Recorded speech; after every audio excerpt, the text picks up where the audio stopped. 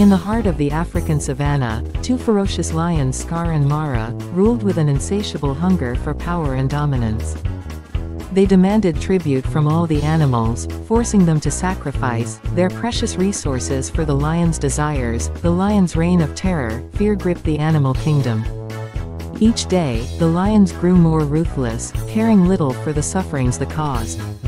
The weaker animals suffered most, their lives sacrificed to satisfy the lion's endless appetite.